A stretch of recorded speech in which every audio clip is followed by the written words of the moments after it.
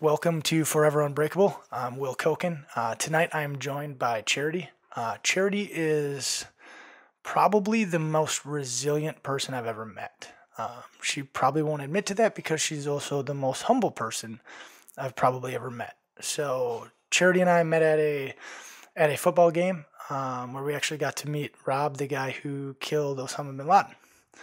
Uh, so that was that was uh, an awesome game. But cooler than meeting him was honestly meeting Charity, because that created for Fourth Hua the event Freedom Freefall, where we've now uh, after this year we'll have taken over hundred veterans skydiving.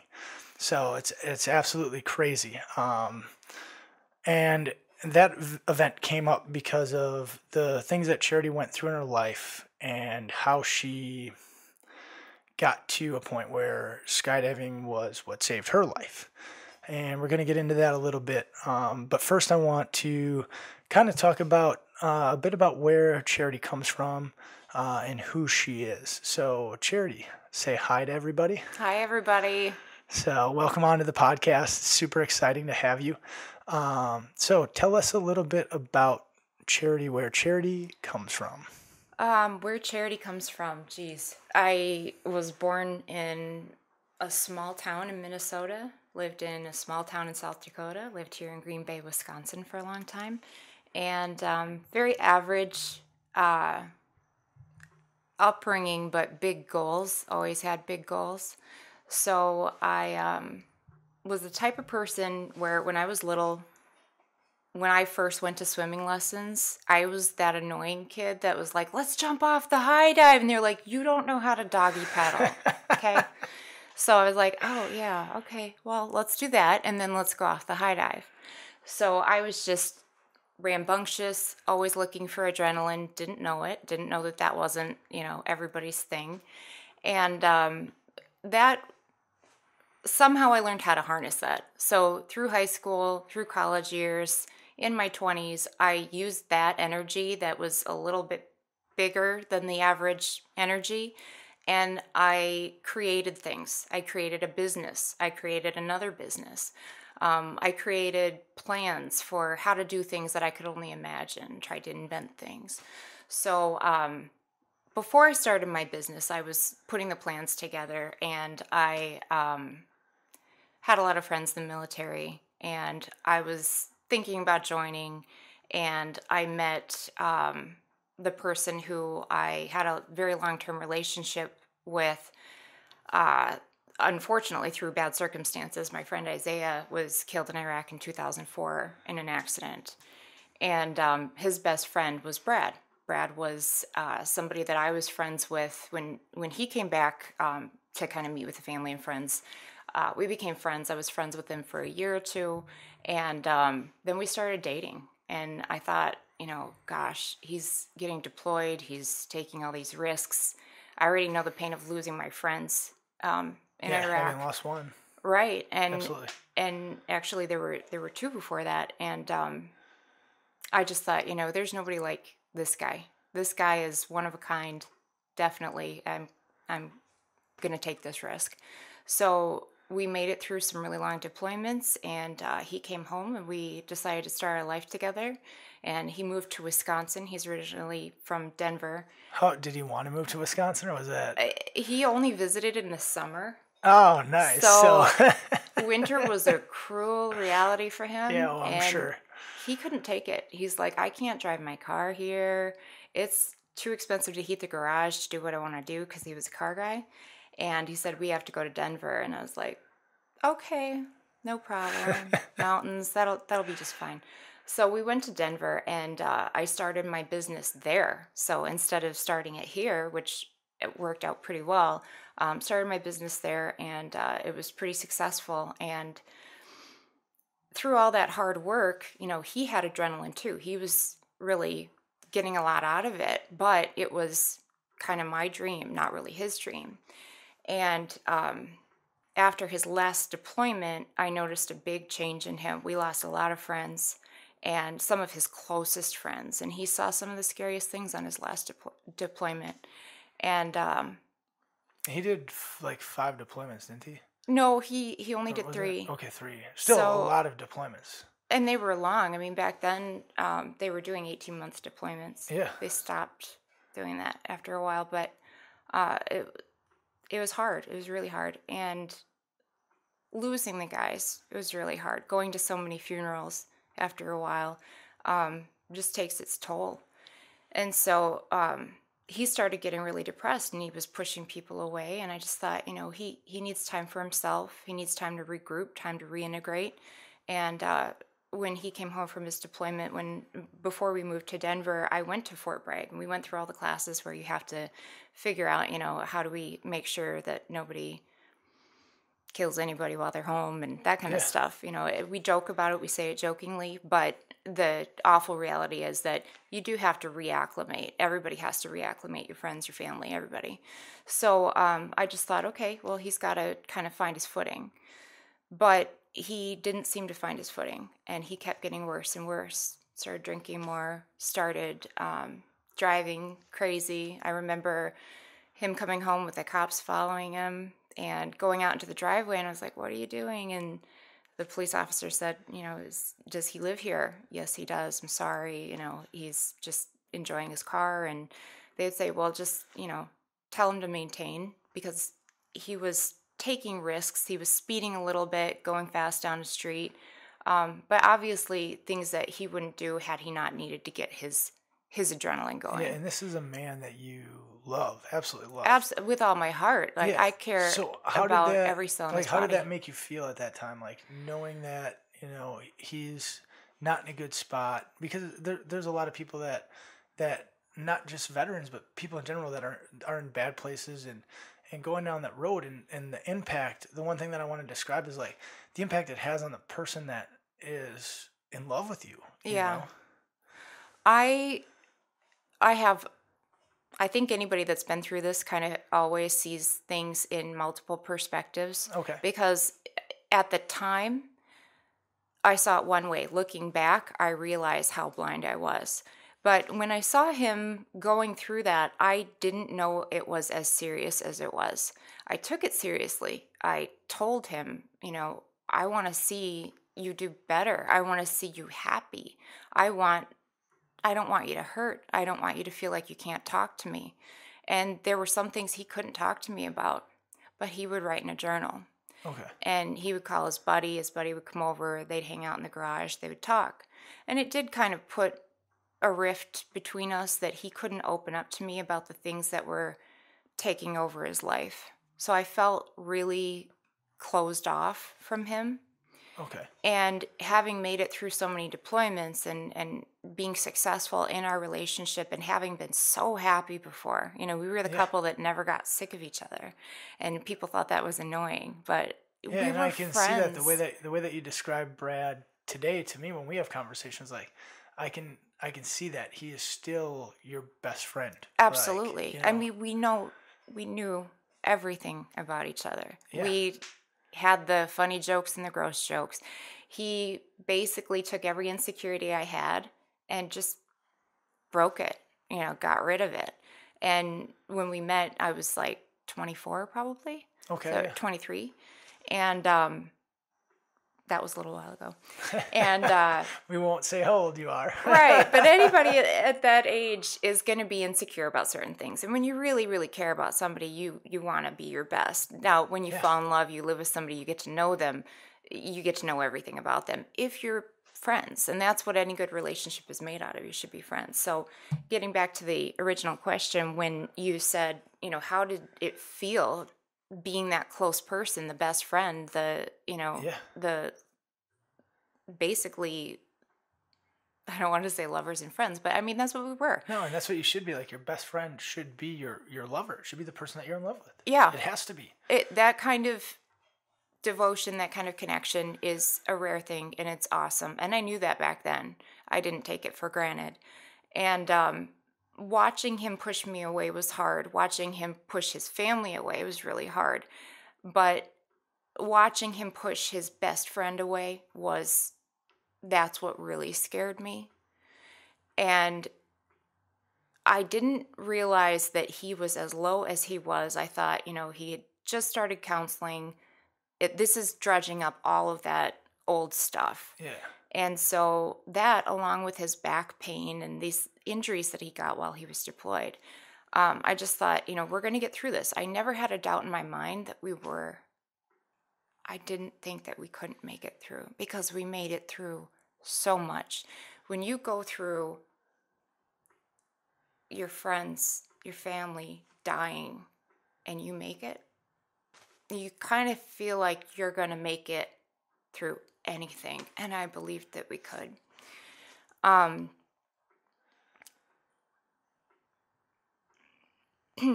I have so many regrets about not seeing things clearly. And um, which is hard. You're you're living in the moment and you're you're living in love. And in love, I think a lot of times we don't we don't necessarily see um, different things in, in another person or, or in ourselves. A lot of times we don't do a self reflection. Yeah. Um, and I think that that, you know, plays into a lot of things because you're living in this moment where you think that either everything is perfect or it's going to get better, you know, and we're, we're on the right path. Like, yeah, nothing can break us. And that's, you know, as we talk about unbreakable as a, as a brand or, or as a, as a model, like there are things in life that break you and it's as we were talking about before we started this it's that that roller coaster of all those dips because in life there's going to be dips. There's no way to avoid dips in life. Right. And you know it's it's all about can you keep rising um, and gradually making those dips rise back up to a higher point in life. You know and that's a, a lot of times when we're when we're living in in those dips and we think that we're seeing something it's a lot of times it's not it's not there, but we think it's there. We have so much hope that, based on some of my past experiences, I've had a lot of hope that it was just going to fix itself. You know, when I went through the things after my deployment, I had a lot of hope that things were going to fix themselves. You know, when I went to counselors and got medicated, and many of the same things that I'm sure Brad did, mm-hmm. um, that didn't work. Right. You know, and I and I know that um, having talked to you, you were at that point at one point, and you went out and, and you took a chance on yeah. on a, getting in an airplane yeah. that you weren't going to land in, um, and it helped you. But but can continue on. Yeah. Well, I mean, it when I was saying uh, you see things in from a couple of different perspectives when you you go through that. You know what you thought at the moment, and then looking back, what you think of it. Um, you know, you you do see with rose-colored glasses with the person that you love, and and it's hard because you know the best of them. And when you see the worst of them, you know why, or at least you think you do. But he, I mean, the guy never got a cold. He was unbreakable. I thought he was unbreakable. Yeah. And looking back, that other perspective shows me that very shortly after he got home from his last deployment, he used to have really healthy adrenaline kind of outlets. Okay. Working out, you know, that kind of thing, challenges with running and, you know, driving but at the track. Yeah.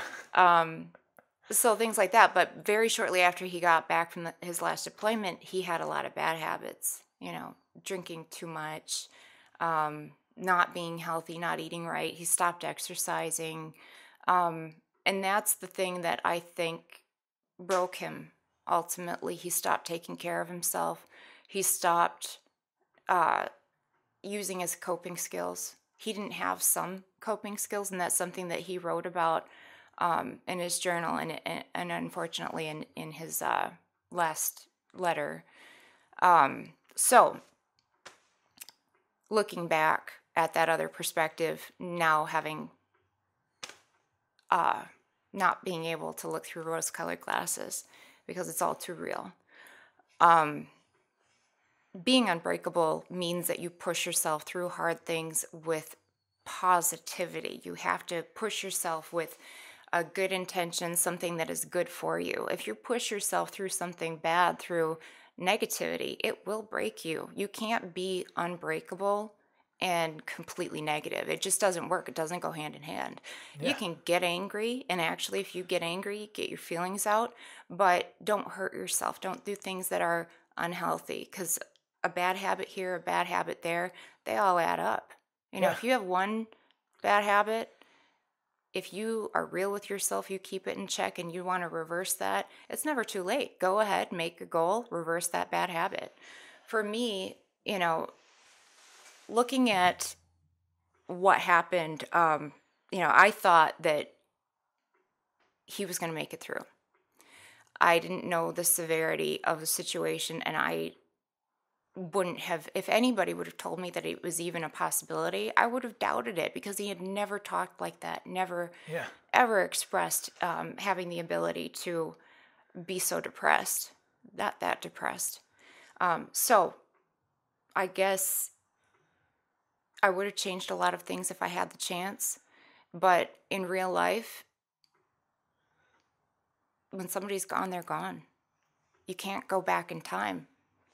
You Yeah. want to, and and that's the hardest thing is that what happened um, that day, I guess that he finally lost his battle with PTSD and depression. Um, he wrote a long letter basically saying that he was tired of hurting and he was tired of hurting other people. He was lashing out, he gave into his bad habits, and for some reason he thought that he couldn't make up for what he did. Because it did hurt our relationship, he hurt his friendships, he lashed out at not just me, but really everybody. Yeah. And for some reason, he thought that he couldn't repair that. But I know myself, his friends, family, anybody, if he would have said, "Hey, you know what? I'm hurting. That's why I did this and I'm sorry." If it if he would have just said that, people would have been like, "Hey, you know what? It's okay. What can I do? What should we do to make you feel better?" So I guess uh, I'm getting a little bit lost in, in, in the memory. And that's that's another thing about um, going through something really tragic is that you do tend to get kind of lost in the fog when it comes to looking back on it. So you'll have to remind me now and then where Yeah, we're at in, no, in I- the story. I, I like it, but I mean, it's like your story is it's so powerful uh, because of you know what you went through um, with him at that time, and then uh, what you went through after yourself um, after the day that he um, chose that he was at his bottom and chose to take his life that put you in in a place emotionally it put the family his you know his good and best friends like his unit members um, guys that had been to combat with him and and he was watching their six and they were watching his six and at that point you know i know the the guys that i've lost to suicide um, at first it feels like you weren't watching their six. And that sends you down an emotional an emotional negative. And it, it does that for everybody. So talk about um, kind of like what what it was like the first couple of days couple of months uh, after un, un, after until you went until you went out and jumped Oh, I know for a fact if if he would have known what it's really like to be to lose someone that way, he wouldn't have done it. He would never Yeah. have inflicted that kind of pain on people because um it's so much worse than anybody can imagine. It's it's the worst pain I can imagine. Um having somebody die is tragic absolutely. Having somebody make the choice to do that is devastating and and in a way that it's not just losing that person it's feeling so much guilt so much weight of it. So when i um the day that it happened i had gone to work and i didn't you know we we had been arguing which is another thing that I have so much guilt about. So I went to work. I didn't realize he was planning this, and he he, he built his own device for it, and um, I didn't know what he was doing, and um, his uh, his job called me, and they said that he wasn't there, and that was really weird. Really not like him to not show up for work um, because he loved his job. You know, he got to drive a car on a dolly and, and test things. So that was his one of his dream jobs. Anyway, so that was really strange, and I knew he was up for a promotion, so I, I knew something was different, and I thought, okay, he's been really depressed, so maybe he's actually acting out, and that was a big deal for him to like skip work, not call. Yeah. Um, so I called his best friend, and I s- it, who lived really close to our house, and I said, "Can you go over and check on Brad?" And this is, you know, our our guy P-Roy. He has the key to the house. Um, we trust him with anything, and um, And you still do. You still Yeah. trust him with anything, yeah, You know? I'm gonna see him in just a couple of weeks. which is awesome. Yeah. And uh, so I, I called him and he said, Yeah, I'm sure everything's fine. You know, he's just going through some stuff right now and um, don't worry. And I, I just said, I feel worried. I feel really worried. So just talk to him and just tell him, you know, I'm sorry and we'll talk when I get home tonight. And I had a full schedule that day. I had multiple clients that I had to see. The clients, I literally saw them walking through the parking lot. And um, when I when I realized I had to leave, I had to go home because P Roy was not calling me back. And he for him to not call me back knowing how worried I was, Brad wasn't answering the phone, something was wrong and I wasn't okay. And I just said, I'm really sorry guys, I have to cancel today. I'll comp your appointment, I'll comp And all you're the and you things. own this business. yeah, this was the business that I started and um So that makes it even harder because this puts bread on your table. It's not like, Right. These are know, big contracts. I had staff. Like Yeah. uh, my job had to make a certain level of income to where I could pay to run the business, pay for advertising, pay other people's payroll. So for me to cancel a day, like yeah, had I to be a really big deal. You have employees that need you to absolutely. to ensure that they make that they get paid. right, So right. that, And and, it's that's why a- I want to explain that the significance of of at this point, like knowing that you are you you don't have a choice but to push this off to the side because you know, like, and that's and that's a big thing. It's a lot bigger than you know working like like how I work at the army. Like if I gotta leave, I just call my boss. and I'm like, I gotta leave, and it's not gonna have a huge impact. Whereas when you own a business and you just have to up and leave for the day, it's got a huge impact. So Uh, yeah, and that I think that's important to know is like that that level of emotion is going on that you know that you need to leave work. Right. You know, And I, I that's not the kind of thing I did. I mean, I remember one time I had surgery and I was back in 2 days. I broke my leg. Yeah. I was back in a day.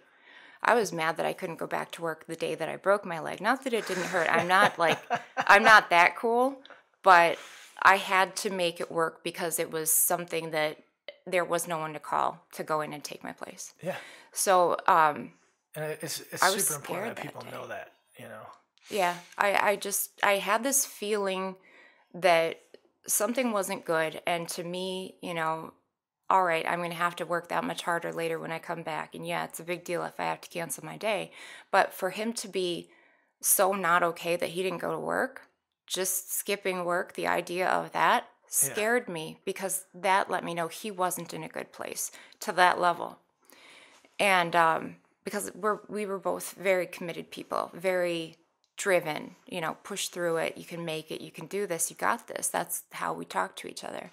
And um, I don't remember the majority of the drive, but I I do remember part of it.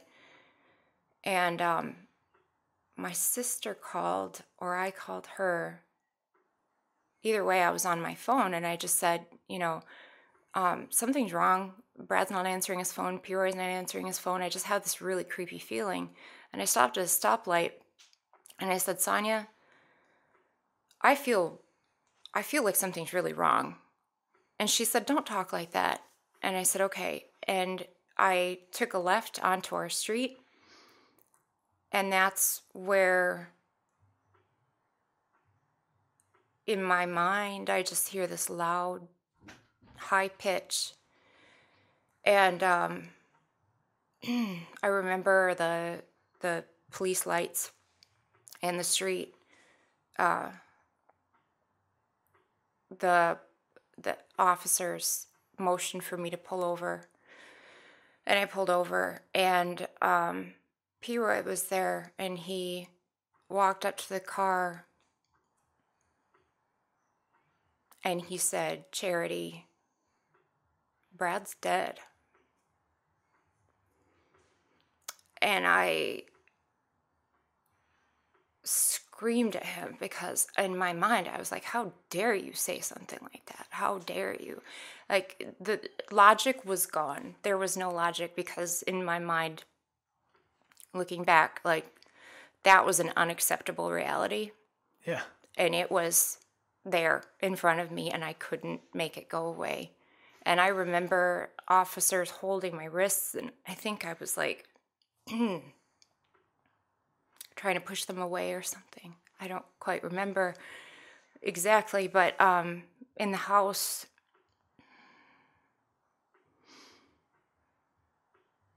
there's no way to describe the feeling other than just wrong.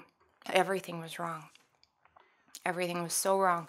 And there were detectives, um, one main detective that had to walk me through the house, every single thing, every computer, phones, um, because wow. it's it's a crime scene. When somebody commits suicide, it is a murder scene, and so everything has to be investigated, documented. It's not an open and shut thing. Um, I had to answer questions, and they said, you know, how was he acting, and and what had happened between the two of you, and all of these different things. And I just said, yeah, we had a fight. He's, but not a fight that should be like this, this way. Yeah and um, his friend explained that he'd been depressed for ba- basically two years. I mean, it had gotten worse and worse and worse, and we just answered so many questions about, you know, um, they asked what these tanks were for and wires and all these things that that he was using to uh, ultimately create uh, what took his life, and um, every single thing was so hard because he had gotten dressed up.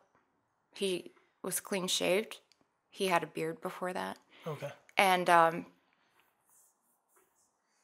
he took out his cello because he played the cello and he would never um, admit it to anybody, but I love the cello. And he got sheet music to our song and he had that all set up Um, and he had his letters, and they were really hard to read um, because I, I don't, I'm sure he was trembling when he, he wrote them.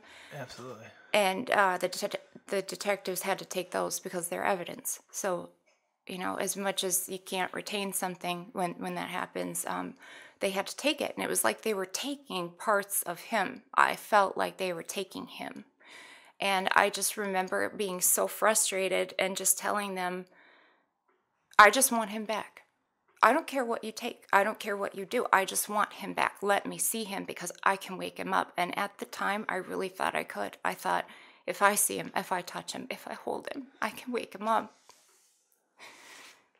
And um, I was not, uh, I, I couldn't accept that. And I felt like if they didn't let me see him in time, you know, they were going to make me unable to wake him up. I just couldn't believe he was gone. Uh, the officers had me call his sisters and his mom, and um, his mom was out of the state. And his sisters came over and they said, You can't tell them what happened um, until they get here because you can't they didn't want them driving erratically or, or getting in an accident or something. Yeah. And that's why Peoria didn't call me back. Because they said um, that they didn't want me getting in an accident. And then it's safer that way. Right. And at the time, it's like, fuck safety. Right. I, I probably would have, you know, flown, honestly. like, I just get a cape and just, you know.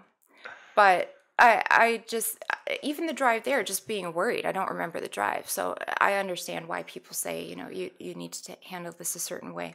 Anyway, um, so I know I'm leaving out a lot of details, but um, basically the emotion that I was feeling through this is when it plays back in my head, everything is heavy and it's in slow motion and it's thick. It's like hard to move but yet everything is so real even in my memory and and this happens every day i think about bits and pieces of this every day, not intentionally, but it comes back.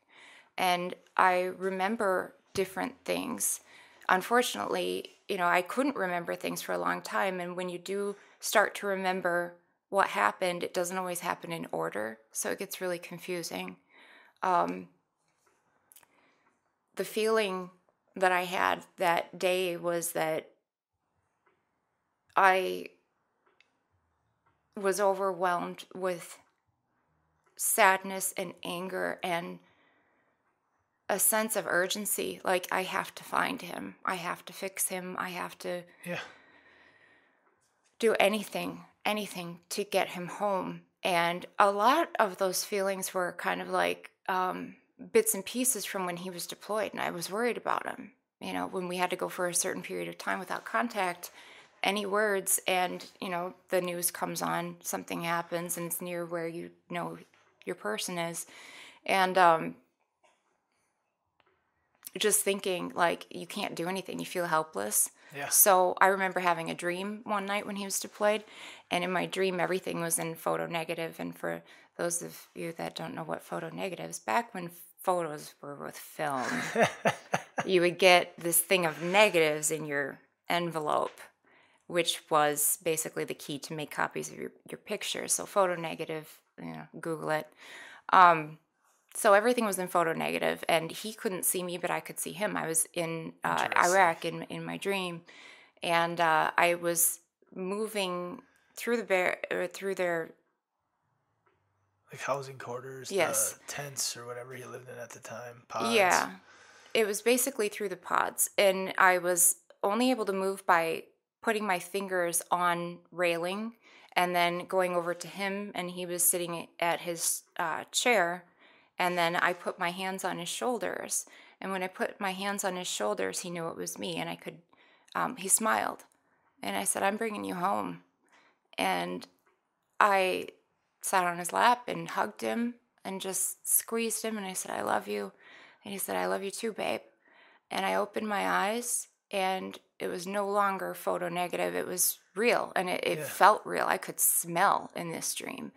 And I looked over and he was laying in bed with me and I said, I knew I knew you'd be home. I it worked. I brought you home. And he said, You did. I love you. It's finally over, meaning the deployment. And um I blinked and he was gone. And it was a lucid dream. So it it feels real. It feels like real Yeah. life. And when i blinked it was actually me waking up and realizing that he wasn't there. Like i felt the bed. I, I was like brad and i looked and i walked through my apartment and and i was like that was a dream. That okay obviously that was a dream so um, that sense of urgency that leads to those kinds of dreams and all of that, when when your person's deployed, um, you just want them to come home. You know, you want them to do well. You want them to Yeah. accomplish their goals when they're there. It, you know, carry out The mission. exactly. But you want to have them come home because everybody's a little bit selfish. You want your person, right? Absolutely. So Absolutely. eh, eh, when when when he was gone and this affects people that lose someone to suicide even if they're not in the military it's it, it affects everybody in a way where you just want them back. You want that chance to say i'm sorry. You want that chance to say the right thing to make them feel better whatever it is no matter what they're feeling. You just always feel like i could have done something. I could have said something. And it is unique to each individual person and it is unfortunately all too common and too similar at the same time. So leading up to the days um, before this happened he was extremely happy and then extremely negative. and this is what we had an argument about because he was really acting manic and it wasn't like him. And i was getting upset. And i said you know you're you push everybody away you push me away you you know tore apart everything that i'm doing and and you know he got really nasty for a while and all of a sudden he takes it all back and like everything's going to be like it used to be and i said how do you expect me to trust you that everything is going to be the same. The things you said and did were really difficult. It's going to take me time. We have to get, get back to being the way we used to be in terms of being friends and lovers, Yeah. not just lovers Absolutely. and not enemies. so he um he wrote in his letter, I couldn't just be your friend and I didn't know how to be I don't know I don't remember the right words, but I didn't know how to be there for you is what he said. And he said don't be like me, don't blame other people. Because he did, he he blamed a lot of people the last 2 years. He was full of blame. He had blame to go around. But um I didn't know even the day that he died that that this was all PTSD. I didn't understand post traumatic stress disorder. I had heard of it, but I didn't really know the depths of it. And um, and a lot of people don't. I don't think even with all the science and, and everything that's that surrounds PTSD, I still don't think we know fully what it is. And a lot of things that people thought was PTSD is actually TBI yeah, and not PTSD, which leads to the leads to the same same place for The- a lot of people. The crazy thing know? about that is that because I work in, in a health related Yeah. field, I um, studied everything I could possibly study about PTSD, neurochemistry, I believe different it. parts of the brain. You know, I I wanted to find answers, and um, it took me a long time to get to the point where I was even learning more about it. Because initially, when it happened, you know, the the day that it happened, and then the next day, you know, you finally, I went to sleep where he died. I laid down on our bed, and um,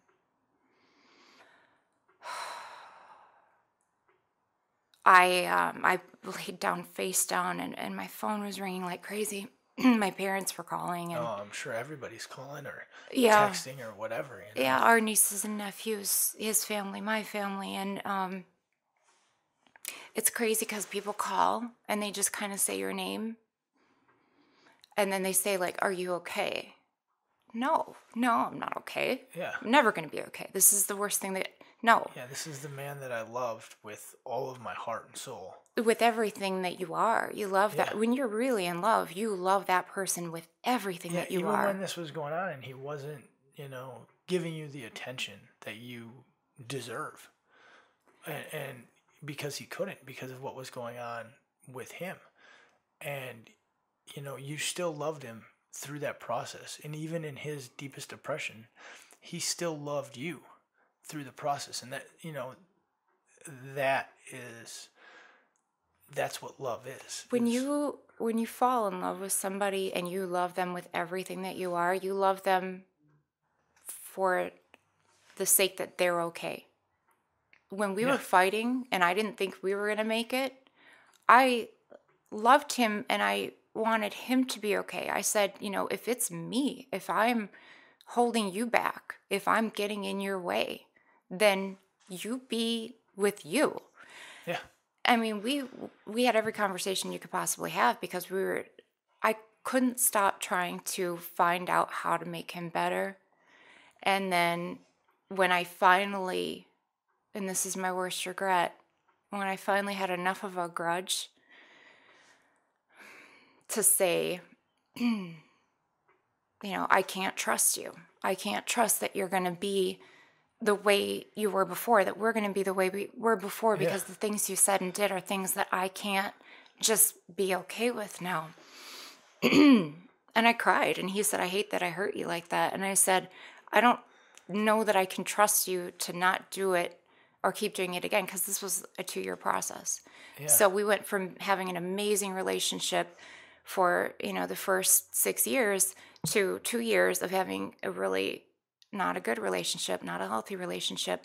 But I still loved him. He still loved me. And he stayed by his side the I- whole time. I'm You- still by his side now. Absolutely. I mean, he's it's crazy to say that, but I still have his clothes. I, I'm this and you're week. going to visit him in three weeks. right, right. You know, like It, that's not healthy either. no, but it's To- but it's important. I think that like a he's never forgotten.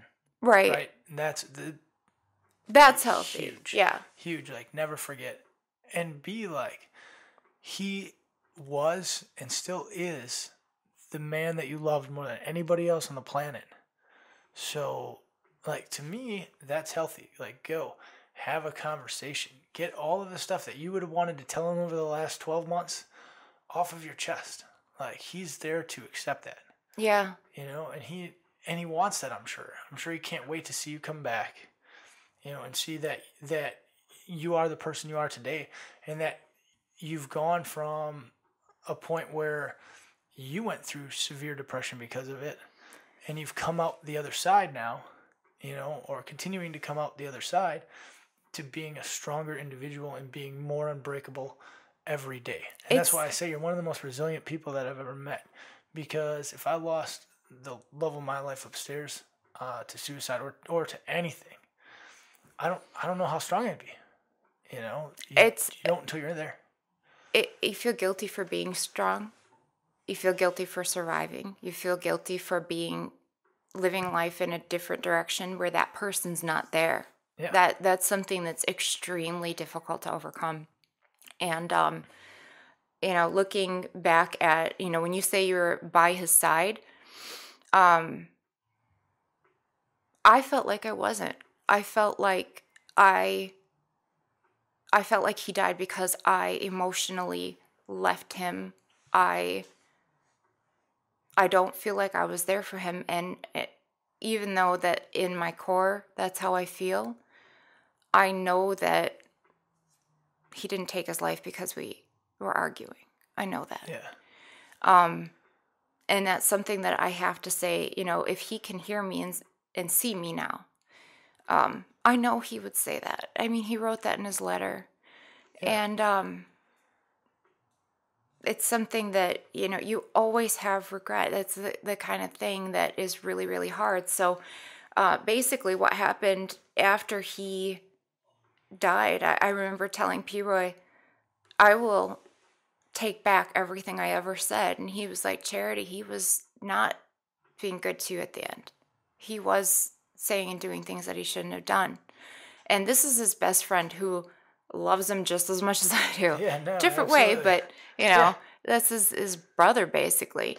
So um, he reminded me that um, I couldn't just make everything in my mind seem like it was perfect. You know, it, it, you have to still remember everybody for who they are, including their flaws, Yeah. and be real with what with what you're going through, with what they're going through, and learn as much as you can about how to handle things better. And that's that's you know you develop your coping skills. So the day after um, he passed away, um, I remember waking up to P. Roy saying, Charity. He just, it's like somebody waking up, like Yeah. screaming almost. And I went running downstairs and he said, It's, it's still real. This is a nightmare. And I said, I know it's a nightmare. And it was terrible. And my sister flew in. Um, his family came over, and uh, people were taking things because they wanted to have him, basically. Yeah. No, absolutely makes sense. And uh, I started getting really upset because they were they were taking things like this is his family, but yet, you know, I wasn't ready to let go of anything. Yeah. And I also didn't want to stop them from taking anything, but I just felt like people were going through everything and I just freaked out and I was screaming. And I was like, everybody just leave, just leave me alone, just put everything down. I don't want to put things in boxes. I don't want to throw anything away. I don't want to get rid of this. Yeah, I can't. Yeah. And P. Roy kept me sane. I mean, not really sane, but as close As, as you as can be. as one as sane as one can be in that scenario. Like I can't picture anybody anybody being sane. So no. you know, kudos to to him for being able to to do that because at the same time with their friendship, you know, he is in a similar spot as you, I would assume. He was and he was maintaining because he you know the kind of person he is he put himself in a position where he had to take care of everybody else P. Roy, me, Brad, we're, and Isaiah actually, we're all kind of the same personality type where Okay. we, we take care of other people. Yeah, and that's absolutely. what we do. And that's what you've done eh, since the day I've met you. you well, know, it, without it's a doubt. So, it's kind of the nature of, of how a person is and and when you you go into somebody's life and you take care of them sometimes you do forget to take care of yourself they say that in healthcare too you know you take Yeah. care of other everybody else but yourself and um, so you know the months after that I, uh, I i tried going back to work and i would open up a case file and i would be looking it over and i wouldn't be able to retain anything i i flopped every interview, every consult, everything. I couldn't Yeah. keep my head on straight and I was just a basket case and I was jumpy and I was crying and you know, I just was not at all myself. And um I realized I had to close the business and just move home to be by my mom and just be with my family. And uh it was really hard. I I had it was terrible. I mean, that was a really I had to let go of everything. I had to admit to myself that he wasn't coming back because I thought if I moved, he wouldn't be able to find me, like in some Yeah. weird way. So when I moved, um, I moved his stuff with me, the stuff that I had left, his Yeah. clothes. And uh, just uh, a couple years ago, I did um, get rid of a lot of the clothes, donated them, and I still have some. And I need to now this week get rid of more. Um, it sounds like I'm like hoarding all of his stuff, but it's really it's like t-shirts and jeans. And I you think know, it's I think it's normal. I don't think that there's anything out of the norm there. Um, I know that there are certain things that I would 100% keep of Chelsea's, like without a doubt. You know, and it, and it goes for the same thing with like my best friend Sodi. There are certain things that if something happened to him, I would, you know, his wife would obviously get first dibs, but then I'd be like, hey, can I have this? Like, I want a keepsake of him. yeah. You know, so I, I think it's absolutely normal. And the Um, memories it should be, you know. Yeah, the memories that those things make you think of are are why. It's like it's really not the t-shirt, it's not the jeans, it's the memories. Yeah. You know, he had this Orange Crush t-shirt that he wore every day. I mean, the thing stunk. And I didn't wash it because it smelled like him. Yeah. It smelled like him for a really long time. And then I put it in a box because it started not smelling like him. and then I was like, okay, maybe there are some things I should get rid of. So, um, you know, the t-shirt is one thing that I'm I'm going to hold on to, but you know, the rest of it, it's kind of like when you hold on to every single picture, every single thing. It's really what you're doing, and I didn't know this until I consciously had to admit that like I'm moving his stuff with me when I move. Yeah. It, it started getting weird. Um, really, what you're doing is you're trying to hold on to them. It's what you have left. It's all you have left because you don't have them. And they say you have the memories, but PTSD turns your brain kind of into Swiss cheese. Sometimes you don't have the memories, and the ones you do have are not the good ones. They're Yeah. the worst ones. Um, I I had some really good memories, but Clouded They're by still- the bad ones. yeah, it's clouded by the nightmare of the loss. So obviously there are stages of grief, and that is true of everybody when they lose somebody. I didn't want to admit it because, you know, you always have to say, this isn't going to, I'm not going to be like that. I'm going to overcome this. I'm going to push through this, or nobody else understands. They don't understand my situation Yeah. Anyway, I, I obviously went through the stages of grief, and um, one thing that helped push me through finally getting to the point, the story Yeah. of how this all happened. So, uh, So let's talk about getting to Unbreakable. Like what? yeah, What, what did it for you? it basically was because Brad was an 82nd uh, Airborne paratrooper, so he he jumped out of planes, Yeah. and I wanted to understand him better. I wanted to honor his memory, and uh, before I moved back to Wisconsin, um, I went skydiving for the first time in his memory, and uh, d- to honor him. And I invited some of his friends, and uh, I did that. And um, when I did that, the first time I did, it was just, I just wanted to for him. Um, and before the very first time when I got up to the the edge and I was going to go out of the plane, I could almost hear him because he was the joker. I mean, he would Yeah. joke about everything, and I could almost hear him say, "See you soon." like, okay, this chute better open. Yeah. So uh, it, it was incredible. I I got a rush, and it was really really amazing, and it was great for like a day, and then it I wasn't doing good anymore, and so you know this whole span of you know a year of depression and then skydiving, I decided to go more, and I started jumping in Colorado. Then I started jumping in uh, Pulaski when they had an airport. Yeah.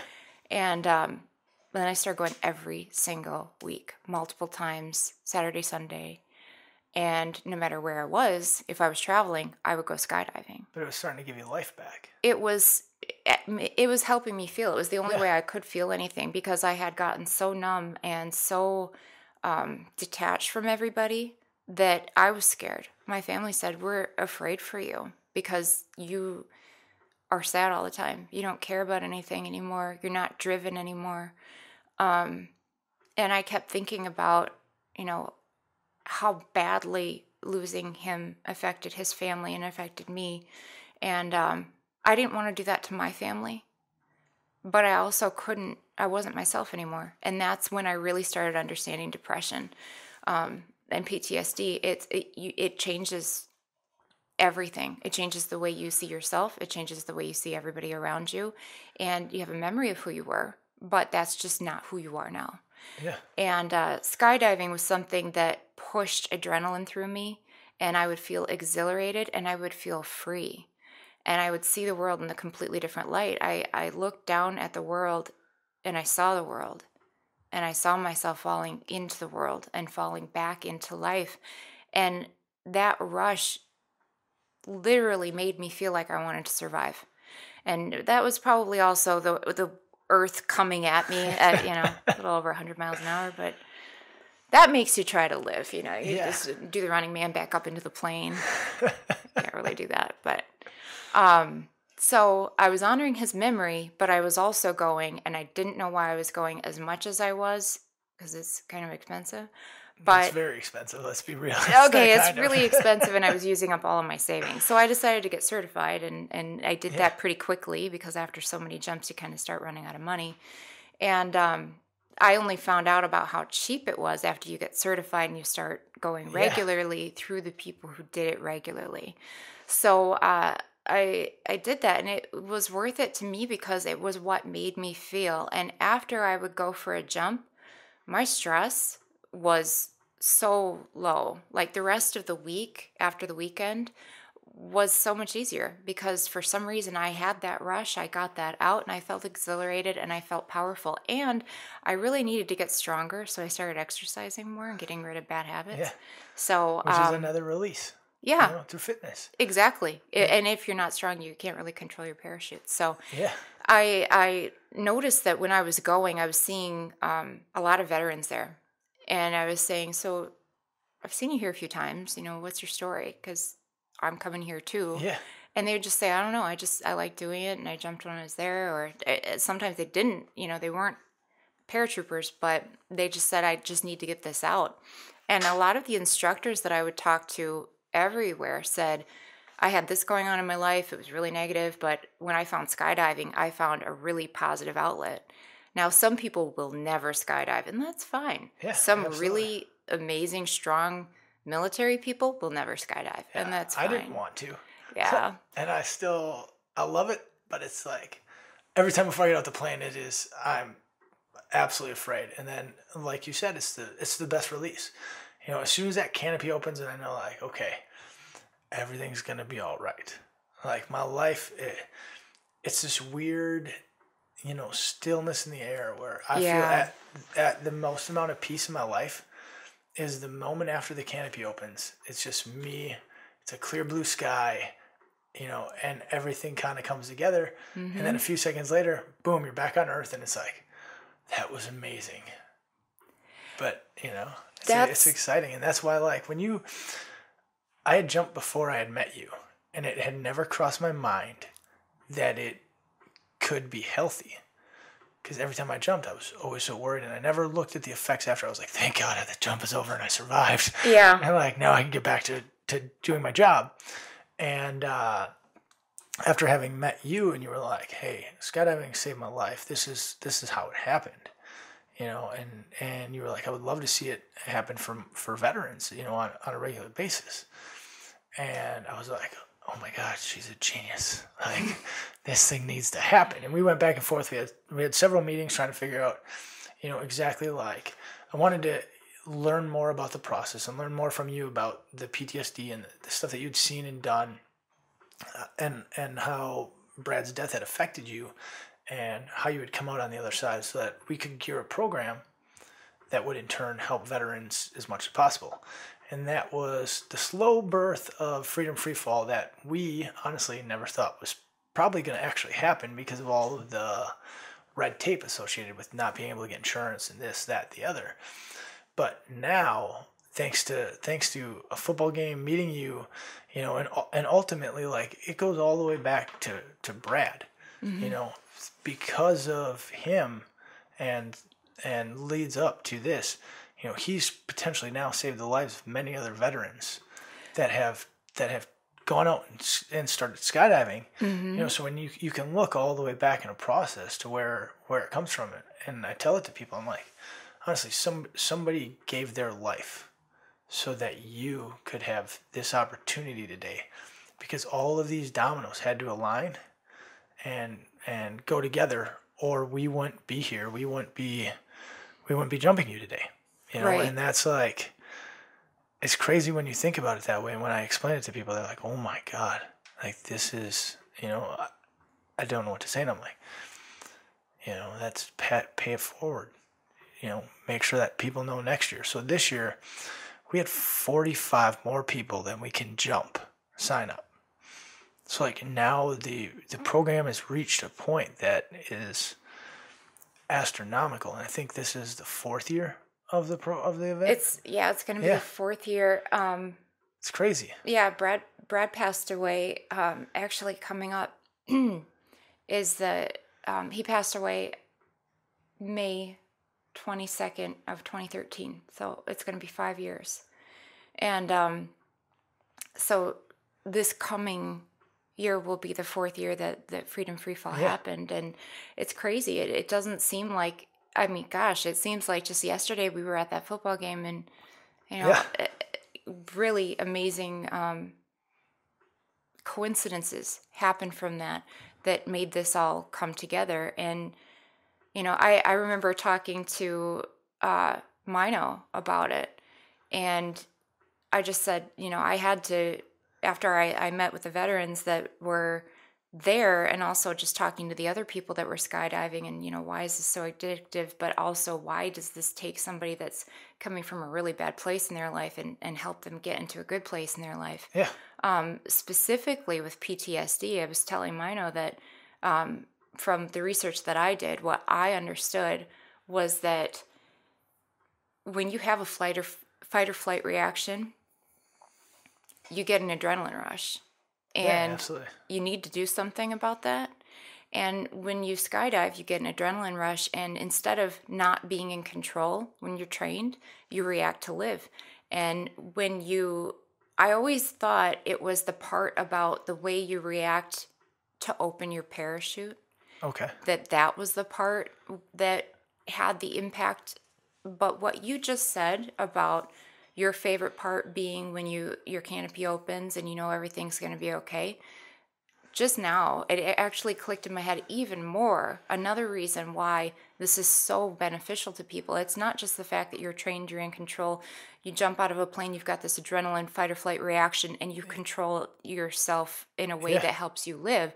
It's the fact that you go from falling and being totally out of control which is my favorite part. I know part. we both have different favorite parts. Exactly. but what makes it so awesome. It is. And and you go from that to your canopy opens and you slow down and then all of a sudden it's that silence. It's that calm. So you relive this fight or flight thing that happens with PTSD, which normally sends you into a negative spiral. Yeah. But through skydiving, you get that part of it, but then all of a sudden everything's okay. It's calm, it's peaceful, and it's beautiful, and you're in control, and you're making it work. Yeah. So it, it it's really all encompassing to have the the reaction that it does on the brain to be therapeutic. It can be emotionally therapeutic, but there's there's still chemistry behind that. And so being unbreakable is something that happens through practice. It is not something that um, people just know how to do all the time. I mean, I think you learn more and more as you go. No, and that's what I was just going to ask you was to define unbreakable to you. And I think that that, that is an awesome way to describe it because it is through practice. It's through rehearsals. You gotta, you gotta keep doing it, or or you can't be at anything at any one thing that you want to be unbreakable at. You have to focus on that thing, and you have to work. It's not easy. Life isn't easy. It's like we talked about that roller coaster thing Exactly. getting through those dips it's it's not easy it's work in, in a relationship it's not easy oftentimes there's there's work that needs to be done but it's all about trying to make that upward projection you know the whole time it's it's an upward projection that can only happen if you forgive yourself for falling down.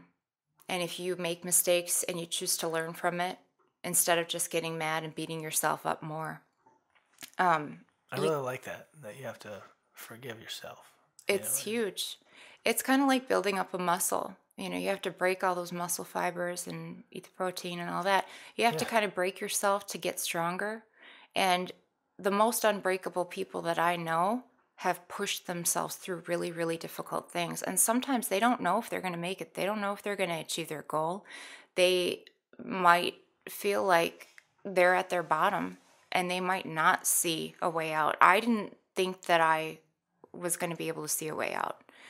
Um, when I started skydiving, I did it to honor his memory. I didn't do it to treat the PTSD that I didn't know I had at the time. yeah, you had no idea that it was gonna help fix you Right. you know help make you stronger no idea No, I just knew that I was So- doing some crazy things and I couldn't stop doing it.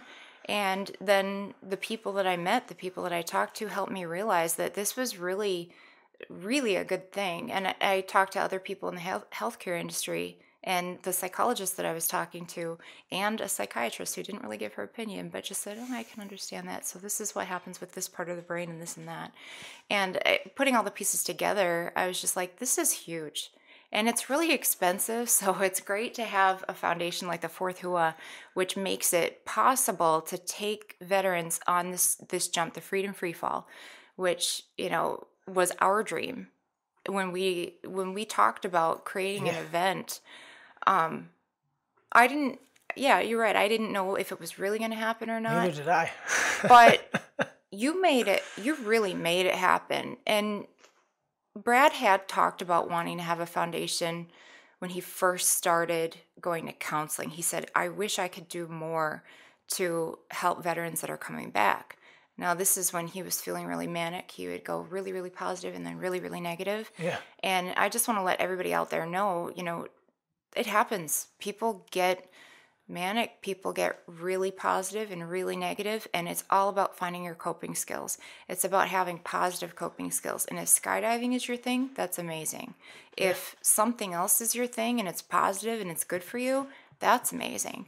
But the first thing we have to do is talk, and and we have to be okay with talking about it. We have to talk about the the good, the bad, and the ugly. And that's why I talk about this. For a long time, you know, the, the first time that that the freedom free fall was going to happen, you and I were talking about making it happen. Yeah. And I had to back out from doing the physical, you know, going out there and talking to people part of it because it was triggering flashbacks for me yeah and having to tell the story over and over so close to right after it ha- when it happened was bringing me right back down into the most difficult spot and i think this is why you know a lot of a lot of veterans stop hanging out with with other veterans for a while because it's a little too real for a little while and that camaraderie that friendship that bond is so important i got away from that for a little too long and I started going back downhill again. And when we said, you know, what is unbreakable? Well, my definition of being unbreakable is being able to overcome being broken every day. You have to do it every day. Yeah. Some days are harder than others.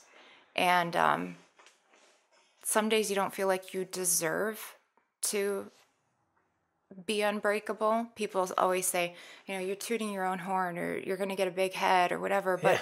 you know what? If if I want someone else to do well, I know how I feel about my friends and family. I want the best things from my friends and family. So shouldn't I want that for me too? Absolutely. You need to want it for you. Yeah, You if you to. don't want it for you, you can't be there for other people. It's, you know, if you're not capable of taking care of yourself, you're not going to be able to take care of someone care else. others. Yeah, and you got to find you got to find positivity and everything. It's like I said before, you know, where you have people that are like, you know, you do hua for for yourself, and I'm like, you know what? Absolutely, because I'm the one that when I help a veteran, I get this emotional high. hmm So thank you. You're right. I do it for myself. This, you know, what, and some people see it as the most selfless act. And I'm like, at the same time, it's a selfish act as well because I'm taking care of somebody and I get to have this awesome emotional high like, I help this person pay their bill or I help them get back on track or, or I, through this program that, that we created, get to go and watch them jump out of an airplane for a day and mm-hmm. to take a, my, the coolest jump is still Ollie, 90 some year old World War II vet. I was, yeah, Just I remember that. See you later, Ollie. I actually, I handled the camera for for mine Yeah. because he wouldn't go in the plane. Yeah. Sorry, John. So I mean, like you got to see this this guy whose his last jump was into World War II, and he jumped again, and he's like, "This is the greatest day of my life." Was That getting was to jump out of a plane again. Historical. That was amazing. And, that's one of the many effects. And everybody who jumps gets to the ground, and they come running over with all these thanks and and oh my God, you're so amazing, and we get to sit there and take that all in and and you know as selfless of an act as it is it's also selfish because it is creating this high for me you know internally that that I get and I get to take that with me down the road and it's you know why why much like you said you have to be in it for yourself as well. Hmm and through that process of, of being in it for for me and me getting that emotional high i'm able to stay motivated you know and, and keep pursuing the, this direction. Otherwise i'd burn out. There's no doubt. It just I was just kind of thinking the same thing. It's you know I I've had people actually say some pretty nasty things online, um, like you know you're making this about you or you're why are you trying to get attention for this or that? And it's like no it's i not get about the same me. thing. I get the same it's thing. about yeah it's about the cause. Like i don't want to relive my worst nightmare over and over and over. Or have anybody relive that nightmare? God no. And and that's what it's all about is trying to prevent someone else from having to go through this. That's why you know, I really have to get better at, at kind of like summarizing what it was like, but it's it's hard because it's raw. There's it's no- like yeah no I'm need to summarize this no, is I'm walking through it yeah in my mind like it happened, like I'm really back there. And that that's really difficult and hopefully in time it'll get easier, but the the point of having to revisit that is to help other people. No, I mean And- it gave me chills. Like I know that that the story that you told, I know that it's going to help a ton of people, a ton of people moving forward because it's the feedback that I got after the gala and after you've spoken at Freedom Free Fall and things like that.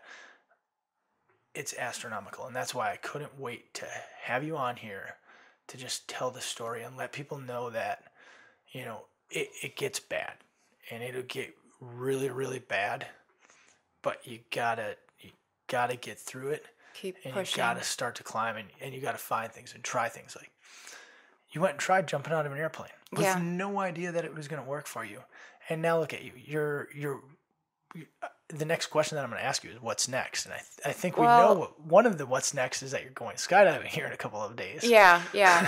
so I was just gonna say that the thing that I noticed about you, you know, you said that when I was talking, people said it it really moved them at the gala, and and I went back and I watched that, and I'm like, my gosh, I I messed up so many things there. I ha- I But it was have described this and I didn't do that, and and that's what it's all about, and that's what I see when I see you and Chelsea doing the work that you do is like you guys put yourselves out there, and there's there are going to be haters no matter what you do, There's no matter what always you've been through. There's Always just haters.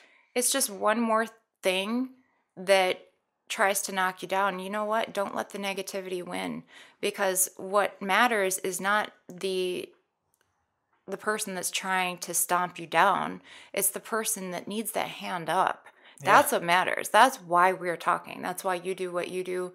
It's why I do what I do. And what's next for me first of all is, you know, always make it through one more day. That's what I do. And I had to stop skydiving for a while for health reasons, but I still contribute to helping other people go skydiving if they can be helped the way that I was helped. Um, but I am going uh, with another person skydiving in, gosh, what, on the 15th, 16th. I'm so flying awesome. on the 15th. And um, I'm going to do it again on the 22nd in honor of Brad's memory. And it's not about, it's not about um, never letting go. It's not about that. It, everybody has to let go of things in their own time when they're ready. And I don't think I'll ever let go of that part because that is in honor of him. And it's when I jump out of the plane, I know what I'm going to be thinking about. I'm going to, for one, I'm going to be talking to Brad and I'm going to say, I love you. And because of a tragedy that I know he would take back if he could, but because of the desire to be unbreakable, the desire to help others, the desire to put love back into life and life back into love. Because of that, because Brad happened at all in my life, there are other people that are going to be better. There's going to be family members that don't have to lose their person. There are going to be friends that, that don't have to lose their person, not like that. And if that only ever helped one person, that's enough. That's good. For one, I, I do it for myself too. You know, I need to help myself. I need to feel better. Yeah. But if I can feel better and get so excited that, oh my gosh, like I didn't think there was a light at the end of the tunnel, and there is, holy crap, you know, who would have Yeah. thought? I need to bring this to other people. Like, hey, hey, hey, if nothing's working for you and you have even like a little temptation to try this, Go do it. go do it. Like, Absolutely. don't go get plastered. Don't do drugs. Don't do that stuff. Like, don't drown your sorrow that way. Like, if you want to do something really cool, do something really cool that's good for you. Yeah. Find your passion, your outlet, your coping skills, and then hang out with other people that do that too. Yeah. Like minded people. Yeah. Like minded people is, is the best thing you can have around you. And that I'm surrounded by like minded people. I love it. And it has given me such a better, healthier life. And it's, it's awesome. You know, it's, I don't even know what to say about it. It just makes me super happy when I look at it and do my like self evaluations and people that I've surrounded myself with and the people that I that I talk to and enjoy talking to. Like, it just makes me feel so good. I I see you get inspired by others, but I see you inspire so many other people. Like I look at what you're doing and these like records and the Facebook stuff and I'm just like Will is so much cooler than me. Like But that's not the case. I'm not at all. I'm not at all. Well, that's the thing about inspiring other people is that when you surround yourself with like-minded people and they bring out the best in you instead of surrounding yourself with people that bring out the worst in you, Yeah. that's when it's just mutually beneficial for everybody. So Yeah, exactly. everything that you do, this podcast is something that you made this happen, you know, and the people out there listening are making this happen too. Yeah, and this isn't this isn't my idea. Much like Freedom Free Fall, I'll never take credit for the Freedom Free Fall idea. That's 100% you. Um, this podcast wasn't my idea. It was an idea of several people that were like, this has to happen. This will cause change for so many people and make so many people's lives better. And I, and I see that already. And we're five episodes deep. This is episode six, and to have that that level of positive effect, it like it makes me want to be doing these episodes every single day. And that's why I explained to you the process to which we're going to get there. And you're going to be a part of that process. And I'm I'm super excited for that, and I can't wait Any to like I can help. and I can't wait to have you back on here numerous times because your story is so strong that I know that it's going to affect so many people. For people out there listening, if you, you know, if you want to help in any way, if you know anybody that can help in any way, just, you know, talk to people about the podcast. If you have questions, you know, send the questions. I send mean, them in. Will, I'll I'll answer questions if people say, you know, uh, as long as they're not trolling, but if people say, you know, No, exactly. you talked about this a little bit or you talked about this but they have another question about it i'll answer it then because i know like telling the story is difficult it's challenging and um, it's not for everybody but whatever i can do if it contributes to making anybody's life better veteran or not I- want to do that through being able to share you know my story so that it's not someone else's story And you do that. You do that already, and it's got it's got huge effects. Like I, I don't know how many compliments you get, but I've gotten a ton on your behalf. I I jet So- afterwards because I'm usually like, "Ah, I gotta go Yeah. home. But um, but you know, it'll get easier. I, I, try to think about what do I ultimately want to feel like, and I want to feel like I'll never be the way I used to be, but I want to feel close to that. I want to feel like um, when you say being unbreakable, I want to feel like I can set a goal and not be afraid of accomplishing it or not feel undeserving of accomplishing it. And being It's a unbreakable, That's a very powerful line.